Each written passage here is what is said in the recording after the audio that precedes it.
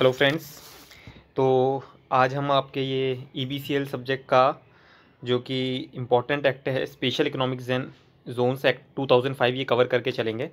ठीक है? तो इसमें बेसिकली आज हम जो डिस्कस करने जा रहे हैं आपसे, जितना भी पॉसिबल हो पाएगा तो हम आज उसको कंसिडर कर लेंगे, नहीं तो उसको सेकेंड पार्ट में कर लेंगे। तो सबसे पहला है कि मतलब ऑब्जेक्टिव्स क्या हैं, इसके what is SEZ special economic zone होता क्या है ठीक है ना डेवलपर कौन है, क्या अप्रूवल लेटर ऑफ़ अप्रूवल क्या होता है, कौन डेवलपर है आई एफ़ एस सी का कंसेप्ट क्या आता है इसके अंदर, ठीक है ना? तो ये सब चीज़ें आज इसके अंदर कंसिडर करके चलेंगे। तो सबसे पहले मैं आपको बता दूँ S E Z special economic zone मतलब ये एक डेजिग्नेटेड एरिया कर देते हैं हम, ठीक है? जिसके थ्रू क्या होता है, इस एरिया से एक्सपोर्ट करा जाता है डेडिकेटेड एक्सपोर्ट के लिए ये एक एरिया हमने डिज़ाइन कर दिया जाता है। और इसको हम क्या बोलते हैं, एक तरीके से ग्रोथ एनक्लेव ठीक है ना? क्योंकि एक्सपोर्ट होगा तो ग्रोथ होगी। ठीक है ना? और ये हमारी मैन्युफैक्चरिंग सेक्टर को बढ़ाएगा। और जब मैन्युफैक्चरिंग सेक्टर बढ़ाता है तो हमारे को जो क्या होता है? एम्प्लॉयमेंट अपॉर्चुनिटीज़ भी इंक्रीज़ होती हैं। तो बेसिकली द पर्पस हमारा जो सेज का रहता है वो ये है कि ये भाई मैन्युफैक्चरिंग को बूस्ट करता है इंक्रीज़ करता है एक्सपोर्ट्स और जनरेट करता है एम्प्लॉयमेंट ठीक है ना? जब हम एक्सपोर्ट करते हैं, आपने आई थिंक अगर जीएसटी में भी अगर सब्जेक्ट में पढ़ा होगा तो उसमें भी कहीं ना कहीं आपने उसका रेलेवेंस देखा होगा कि सेज को जो गुड्स मिलते हैं उसमें फिर ड्यूटी नहीं लगाना, क्यों? अगर ये एक्सपोर्ट करता है तो एक्सपोर्ट ड्यूटी फ्री हो जाता है। उसमें भी दो मेथड होते हैं ड्यूटी पेड ड्यूटी लॉस वो सब आपको आई थिंक आइडिया होगा। तो मैं वो प्रोविज़न इसके अंदर सब आपसे डिस्कस ना करके बेसिक हमारा जो लॉ पॉइंट ऑफ़ व्यू से है, वो हम डिस्कस करके चलेंगे। तो फ्रेंड्स अगर डेफिनेशन की अगर हम बात करें तो उसमें जैसे डेवलपर कौन होता है? डेवलपर वो होता है जिसको स्टेट गवर्नमेंट से लेटर ऑफ़ अप्रूवल मिल जाता है, ठीक है ना? अब जो मैंने आपको एक्सपोर्ट्स के बारे में बताया इंपोर्ट मतलब ये डीटीए से अगर कुछ माल खरीदता है गुड्स एंड सर्विसेज़ तो उसको हम मॉनिटर वगैरह करेंगे, वो भी हम आगे देखेंगे कि क्या क्या चीज़ें हम मॉनिटर करते हैं जब वो ये गुड्स मैन्युफैक्चर करता है या फिर सर्विस प्रोवाइड करता है, ठीक है? तो इसी तरीके से आई क्या है? आई एक ऐसा सेंटर है जिस, आपने पढ़ा भी होगा आई कंपनी के बारे में कंपनी लॉ वगैरह में, ठीक है ना? Which is approve by the central government जिसको अप्रूव कर देती है, उसको हम आईएफएससी सेंटर बोल देते हैं। मैन्युफैक्चर क्या है, ठीक है? पर्सन के बारे में भी जानेंगे, क्योंकि पर्सन एक तरीके से यूनिट सेटअप करता है आफ्टर टेकिंग द अप्रूवल्स ठीक है? तो देखिए स्पेशल इकोनॉमिक जोन की अगर ये डेफिनेशंस में आपको सिंपल वे में बता दूँगा तो आप अगर इसको कोट करेंगे तो ये एक अच्छा इंप्रेशन पड़ता है। क्या है? Special economic zone specifically delineated delineated का मतलब आप इसे बोल सकते हैं डेजिग्नेटेड या फिर आप इसे कह सकते हैं ऑथोराइज ठीक है ना? तो क्या कहता है? Special economic zone is a specifically delineated designated duty free enclave enclave मतलब होता है एक तरीके से, एक तरीके से जो चारों तरफ़ से, एक तरीके से बंद है, वो हमने इसको एरिया डेजिग्नेट कर दिया and shall be deem to be the foreign territory अब उसको हम क्या कर लेंगे? मान लेंगे कि ये फॉरेन टेरिटरी है, विदेश की जगह है for the purpose of trade operation and duties and tariffs ठीक है? तो जो मैंने आपको जीएसटी का एग्ज़ाम्पल वगैरह दिया, आप उसको भी यहाँ पर कोट कर सकते हैं. ओके और डी टी ए बेसिकली जो डोमेस्टिक टेरिटरी एरिया होता है उसको बोलते हैं D T A domestic tariff area ठीक है? बाकी भी वो आगे आएगा तो हम उससे आप डिस्कस कर ही लेंगे। उसके बाद हम बात करते हैं फ्रेंड्स एस्टेब्लिशमेंट्स के बारे में इसका। तो एस्टेब्लिशमेंट क्या कहता है कि आ, कौन एस्टेब्लिश कर सकता है? तो क्या कोई पर्सन एस्टेब्लिश कर सकता है इसको? यस फ्रेंड्स कोई भी पर्सन स्टेट गवर्नमेंट और सेंट्रल गवर्नमेंट ये एस्टेब्लिश कर सकती है। ठीक है? तो पर्सन को करना होगा तो वो स्टेट गवर्नमेंट को अपना प्रपोजल भेजता है। ठीक है ना? और वो जो स्टेट गवर्नमेंट होती है, एक एक तरीके से बोर्ड बना रखा है बोर्ड ऑफ़ अप्रूवल जिसको आगे डिफाइन कर रखा है, वो पढ़ेंगे हम। बोर्ड ऑफ़ अप्रूवल को अप्रूवल के लिए भेज देता है। अगर वो अप्रूव कर देता है तो उसको हम कह सकते हैं कि हाँ अब आप एस्टेब्लिश कर सकते हो। इसी तरीके से स्टेट गवर्नमेंट को, स्टेट गवर्नमेंट डायरेक्टली भेज देती है। ठीक है ना? उसको तो फिर ऐसा है नहीं वो तो डायरेक्ट बोर्ड ऑफ़ अप्रूवल को भेज देता है। और उसी तरीके से जो सेंट्रल गवर्नमेंट होता है वो सेटअप कर सकता है एंड नोटिफाई कर सकता है किसी को भी स्पेशल इकोनॉमिक जोन को उसको बिना रेफ़र करे। कहाँ पर? बोर्ड ऑफ़ अप्रूवल को भी भेजने की ज़रूरत नहीं है। तो बस ये एक तरीके से मैंने आपको सिंपल वे में बता दिया। अब जब आप इसको पढ़ेंगे तो आपको एक अंडरस्टैंडिंग आ जाएगी। आ, उसके बाद हम पढ़ लेते हैं। बोर्ड ऑफ़ अप्रूवल के बारे में भी हमारे को पढ़ना होगा। ठीक है ना? एग्जाम्पन्स वगैरह तो हैं ही, जो मैंने आपको बताया था कि ऑल गुड्स एंड सर्विसेज़ को जो हम एक्सपोर्ट करेंगे। हाँ बट अगर, और वहाँ से जो अगर हम कोई डोमेस्टिक टेरिटरी से गुड्स लेते हैं सर्विस तो उसको हम इम्पोर्ट की कैटेगरी में भी शामिल करेंगे। ठीक है ना? तो अब हम, जो हमने कहा था बोर्ड ऑफ़ अप्रूवल को भेज देंगे तो बोर्ड ऑफ़ अप्रूवल क्या होता है? बेसिकली बोर्ड ऑफ़ अप्रूवल एक नोटिफाई करता है सेंट्रल गवर्नमेंट के द्वारा, ठीक है ना? Notification by the central government और जो कि approval board of approval within fifteen days of the commencement of the act बन जाता चाहिए। तो जैसे ये एक्ट आया, उसके टू में तो फिफ्टीन डेज़ के अंदर अंदर इसका सेटअप हो गया होगा। अब उसमें मेंबर्स होंगे पर्सनस होंगे, ठीक है ना? उसका चेयरमैन होगा चेयरपर्सन होगा, वो सब चीज़ें कंसिडर करी जाएँगी। अब जो इसका इंपॉर्टेंट पार्ट आता है friends examination point of view से, कि what are the duties powers and functions of the board of approval जब आपने देखा कि हमने इसको अप्रूवल के लिए भेजा तो क्या ये अप्रूवल को रिजेक्ट कर सकता है अप्रूव कर सकता है, उसको मॉडिफाई कर सकता है? इस तरीके की पावर्स आनी चाहिए एक तरीके से। फिर जब अप्रूवल हो जाएगा तो क्या उसके बाद ये मॉनिटर वगैरह कर सकता है? तो वही चीज़ हम इसको आगे कंसिडर करेंगे, देखेंगे। तो सबसे पहला क्या आया फ्रेंड्स ग्रांटिंग ऑफ़ अप्रूवल ठीक है ना? For the establishment of the special economic zone granting of approval of the authorise operation authorise operation का बेसिकली क्या मतलब हो गया? एक तरीके से आप इसको ले सकते हैं बिज़नेस एक्टिविटीज़ ठीक है ना?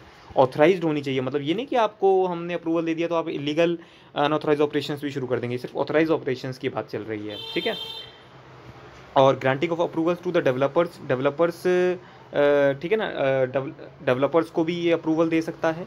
अप्रूवल और rejecting proposal providing the infrastructure facilities अब इंफ्रास्ट्रक्चर फैसिलिटीज़ में फ्रेंड्स क्या आता है? जैसे कि भाई बिजली का कनेक्शन वगैरह हो गया रोड अंदर बनानी है आपको वाटर वगैरह की फैसिलिटीज़ वगैरह लेनी है तो वो सब इस चीज़ में हम कंसिडर कर लेते हैं। ठीक है? और ग्रांट करना licence to the industrial undertaking अगर इंडस्ट्रियल अंडरटेकिंग को लाइसेंस चाहिए तो वो भी ये प्रोवाइड करता है। ठीक है ना? सस्पेंशन मतलब अगर आप उसकी डायरेक्शंस वगैरह को नहीं मान रहे तो वो आपका लाइसेंस को सस्पेंड भी कर सकता है। ठीक है ना? डिस्पोजिंग अपील्स वगैरह सुनने का उसका अधिकार है और बाकी परफॉर्म द अदर एक्शंस तो एक तरीके से अब आप समझ रहे होंगे कि बोर्ड ऑफ़ अप्रूवल का मुख्य मुख्य काम क्या रहता है। आ, उसी तरीके से अब जैसे सस्पेंशन की बात करी तो सस्पेंशन का क्या प्रोविज़न है हमारे पास?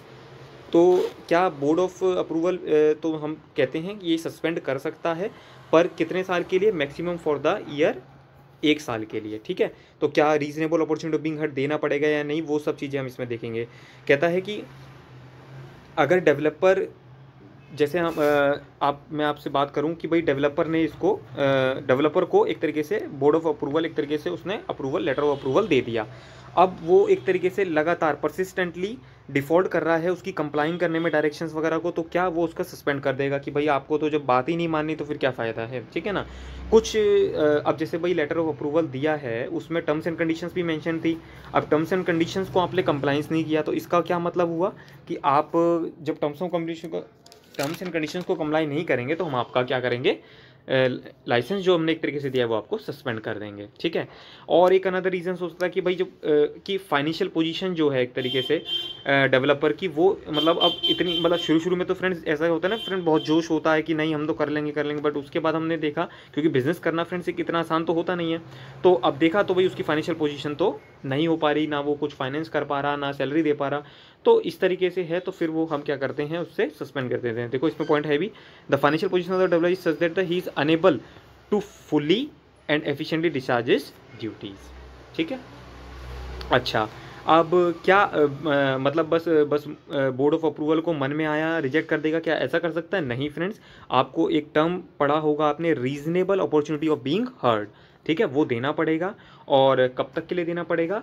कम से कम आपको जो सस्पेंड करोगे आप टू द डेवलपर एट कम से कम तीन महीने पहले आपको उसका नोटिस देना पड़ेगा कि, और रीज़न आपको बताएँगे कि, भाई, मैं आपका आपका लाइसेंस क्यों सस्पेंड ना कर दूँ? इसके बारे में आप मुझे जानकारी दें। फिर वो डेवलपर अपना रिप्लाई वगैरह देगा देन करस्पॉन्डिंगली वर्क होगा। ठीक है?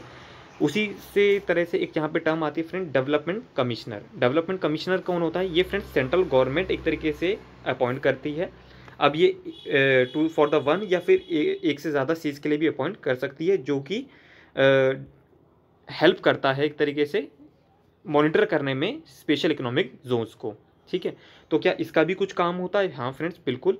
इसके भी कुछ फ़ंक्शंस दे रखे हैं डेवलपमेंट कमिश्नर के, जैसे कि ये जो नए नए ऑन्टरप्रन्योर्स आते हैं, उनको गाइड करता है, ठीक है ना? सेटअप करने में कि भाई आप लोगों को दिक्कत तो नहीं आ रही। और भाई फ्रेंड्स देखिए एक्सपोर्ट हमारे जीडीपी का बहुत इंपॉर्टेंट पार्ट आता है तो क्या ये प्रमोशन भी एक्सपोर्ट्स हमारे एक्सपोर्ट अच्छे से हो रहे नहीं हो रहे, कोई दिक्कत आ रही है तो उसमें हेल्प करना कोऑर्डिनेशन वगैरह करना ठीक है ना? अगर डेवलपर वगैरह को कोई दिक्कत आ रही है तो उसके साथ कोऑर्डिनेशन करके उसकी प्रॉब्लम को रिजॉल्व करना रिड्रेसल करना, ठीक है ना? उसकी परफॉर्मेंस को मॉनिटर करना। अब जिस फ़ंक्शंस के लिए उसने अप्रूवल लिया था वो वही कर रहा है। कोई अदर फ़ंक्शन अगर सेंट्रल गवर्नमेंट ने बोला कि ये चेक करना है इंस्पेक्शन कर रही है, वो सब करना, ठीक है ना? तो वो सब चीज़ें ये यहाँ पर कैरी आउट करेगा। तो आपको डिफरेंस पता होना चाहिए दोनों अथॉरिटी के बारे में कि बोर्ड ऑफ़ अप्रूवल अलग है एंड डेवलपमेंट कमिश्नर अलग है हमारी। उसके बाद आ जाता है फ्रेंड्स ये कि अप्रूवल कमेटी, ठीक है ना? अप्रूवल कमेटी को भी सेंट्रल गवर्नमेंट ही जो है एक तरीके से नोटिफाई करती है, ठीक है ना? फॉर स्पेशल इकोनॉमिक जोन अब इसकी क्या क्या पावर्स आ जाती हैं या फ़ंक्शंस आ जाते हैं वो हम डिस्कस कर लेते हैं। क्योंकि आपसे किसी के भी फ्रेंड्स पूछ सकते हैं चार पाँच नंबर में आराम से तो इसमें कोई बड़ी बात नहीं है बट हम कवर करके चलेंगे। तो what are the power and functions of the approval committee approval committee की पावर एंड फ़ंक्शंस में क्या आ जाता है? जैसे कि आप किस से माल खरीद रहे हैं प्रोक्यूरमेंट कर रहे हैं इंपोर्ट करना, ठीक है ना? डोमेस्टिक टैरिफ एरिया जो मैंने आपको बताया था डी टी ए से शॉर्ट फॉर्म भी बोला जाता है, ठीक है ना? कि भाई आपको जो हमने ऑपरेशन के लिए गया था, जैसे कि आप शर्ट बना रहे हो तो आपको कपड़ा ही इम्पोर्ट कर रहे हो, आप कुछ और चीज़ें इम्पोर्ट ना कर रहे हो। हमारे को इस चीज़ का भी ध्यान रखना पड़ेगा।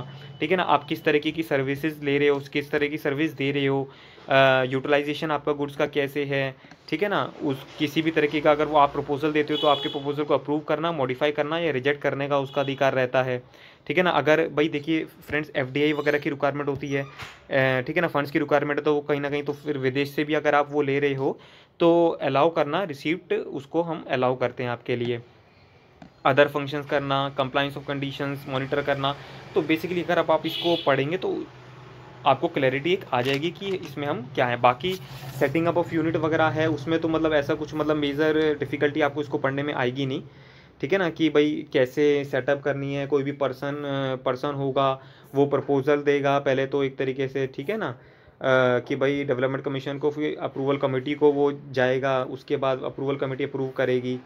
तो इस तरीके की फ्रेंड्स में बातें अब आगे वो करे, लिखी हुई है, वो अगर आप पढ़ेंगे तो वो आपको क्लियर हो जाएगा।